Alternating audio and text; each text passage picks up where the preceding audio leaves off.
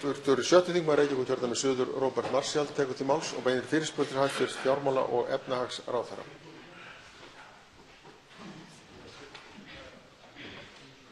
Virðulegur forseti. Ég er sannfærður um það að sú breyting sem varð á forystu ríkisstjórnarinnar núna á síðustu dögum muni leiða til betri tíma í íslensku samfélagi og að stjórnmálin eigi eftir að verða betri.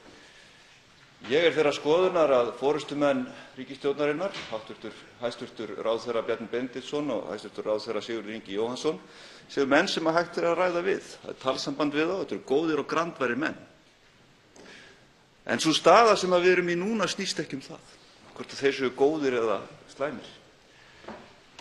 Hún snýst ekki heldur um það hvort þeir hafi gert brotlegir við lög eða ekki. Hún snýst um það hvort það sé hægt að treysta þeim, hvort það sé traust á milli almennings og ríkisstjórnar. Það traust og sá trúverðugleiki verður ekki endurnýjaður með tilvísun í Sjálfstæðisflokkinn, hæstv. fjármálaráðherra. Þess vegna er spurt: Hvernig kemur ráðherra það til, hæstv. sem er í Panama-skjölunum, að halda því fram að hann sé besti maðurinn til þess að afnema gjaldeyrishöft? Hvað í atburðarás síðustu daga er til vitnisburðar um það að þessir tveir flokkar séu bestir til þess að fara með stjórn landsins og ráða þeim mikilvægu verkefnum sem fram undan eru? Ekki nokkur skapaður hlutur. Hvað kemur hæstv. ráðherra og formanni Sjálfstæðisflokksins til með það að standa frammi fyrir alþjóð í tröppunum hér í þinghúsinu í gær á nærbuxunum og halda því fram að aðrir séu í rúst, að aðrir hafi skriðið hér inn og að enginn annar en hann geti stjórnað landinu?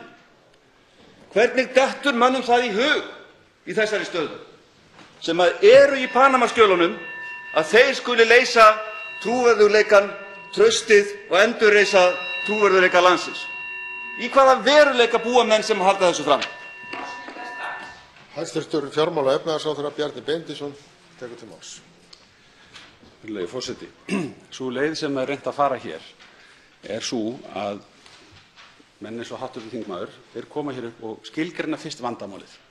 Þeir ætla að skilgreina vandamálið. Vandamálið í augum hv. þingmanns og margra annarra er það að vera í skjölunum. Ég segi vandamálið er það fólk sem nýtir sér skattaskjól, sem skýst undan samfélagslegri ábyrgð. Það er vandamálið. Þannig er það nú að þeir sem sjá ávinning fyrir sig eða sína flokka í því að blanda saman öllum þeim sem með einhverjum hætti tengjast þessum málum og svo hinum sem eru að svíkjast undan og öll barátta stjórnvalda snýst um. CFC-löggjöfin, upplýsingaskiptasamningarnir, samstarf okkar við Norðurlöndin, þessir 44 upplýsingaskiptasamningar sem við höfum gert, OECD-samvinnan, hún snýst um það að ná í skottið á svikahöppunum. Um það snýst málið.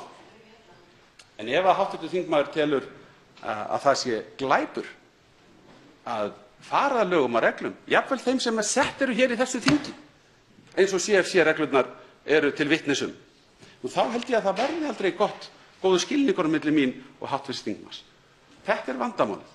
Kannski tekur tíma fyrir þjóðina og einstaka þingmenn að gera þennan skilsmun, gera greinarmun á þessu tvennu, en þarna liggur svar mitt við því hvers vegna ég tel að það hafi enginn glæpur verið unninn í því tilviki sem hann vísar til.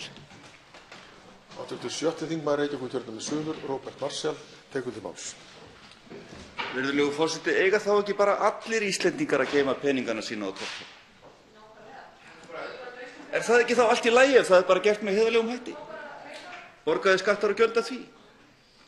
Það er enginn valkostur eftir í stöðunni eins og stjórnarflokkarnir setja þetta fram. Það er enginn valkostur eftir fyrir Íslendinga annar en sá að fjölmenna á Austurvöll vegna þess að þessir flokkar munu ekkert skilja annað en ef fólk mætir hérna á Austurvöll og sýnir þeim að það er ekki tilbúið þetta leikrit. Það tekur ekki þátt í þessu. Það er enginn valkostur eftir fyrir stjórnarandstöðuna en að segja við þessa stjórnarflokka: Það fara engin mál hér í gegnum þetta þing. Engin mál. Hvaða mál haldið þið að við farið með í gegnum þetta þing hér? Ætlið þið að standa fyrir framan okkur á tröppum þinghúsins hérna í gær og halda því fram að það verði settar kosningar eftir að þið hafið klárað ykkar þingmálalista? Í hvaða leikriti er hæstv. ráðherra stattur þegar hann heldur þessu fram?